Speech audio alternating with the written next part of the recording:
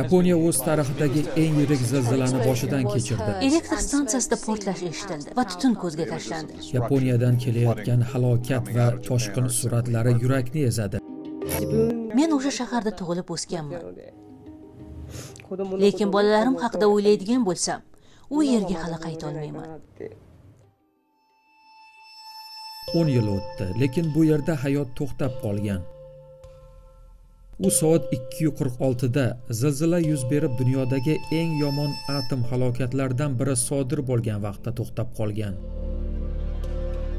2011 yil 11 martida 9 balli zilzila tsunami keltirib chiqarib 15 mingdan oshiq odamning o'limiga va daichi atom stansiyasining buzilishiga sabab bo'ldi. Bunday zilzilani yaponiya ming yildirki ko'rmagandi. Butun boshli shaharlar xaritadan yo'qoldi. Yuz mingdan oshiq odam evakuatsiya qilindi. Ko'plar uylari va oilalaridan judo bo'ldi.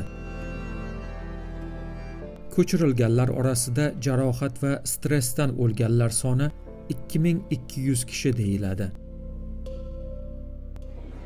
10 nafar yaqinim bedarak ketgan ular bilan hech bog'lana olmayapman. Juda xavotirdaman ulardan.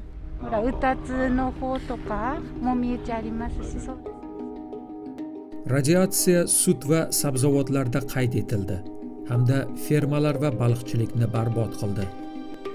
Zilzila sunami va yadroviy avariya kabi uch boshli halokat yaponiya iqtisodiga yirik shikast yetkazdi. Bugunda fukusimadagi inshoot ishdan chiqarilyapti. Buning natijasida paydo bo'layotgan o'ta katta miqdordagi zaharli chiqindini qayerda saqlash muammo? Rasmiylarga ko'ra halokat 198 milliard dollarga tushdi va tozalash ishlari 2051 yilgacha tugamaydi.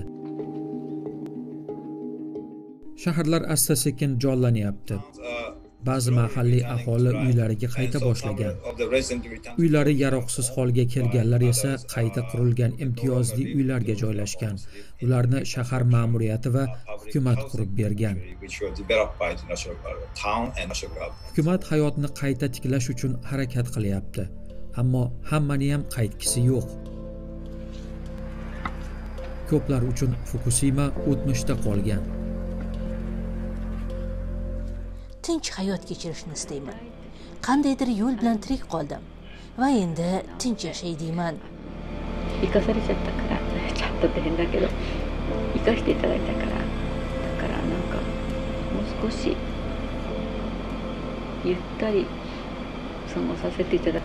Fukusima fojiasini keltirib chiqargan zilzilani oldindan bashorat qilib bo'lmasdi.